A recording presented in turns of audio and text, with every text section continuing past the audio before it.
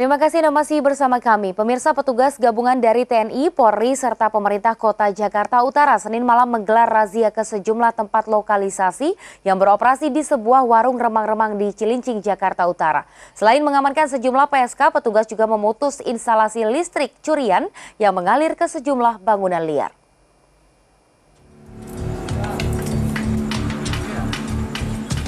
Menjelang datangnya bulan suci Ramadan, pemerintah kota Jakarta beserta jajaran aparat kepolisian dan juga TNI menggelar razia ke sejumlah tempat yang diduga sebagai praktek prostitusi.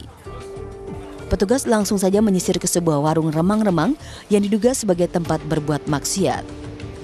Razia tersebut dilakukan berkat laporan dari masyarakat yang resah terhadap keberadaan lokalisasi tersebut. Alhasil petugas berhasil menjaring belasan wanita penghibur yang tengah asik melayani para pria hidung belang.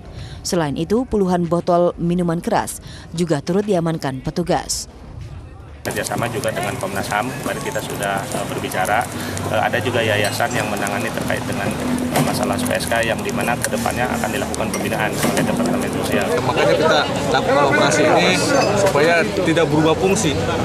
Tapi kan itu, tapi kan berada di tengah-tengah pemukiman warga Pak itu. Sejauh ini belum ada yang melapor Pak warga. Uh, sudah, sudah lapor ke kita. Yang salah satu upaya kita itu tadi melakukan untuk uh, penertiban ini.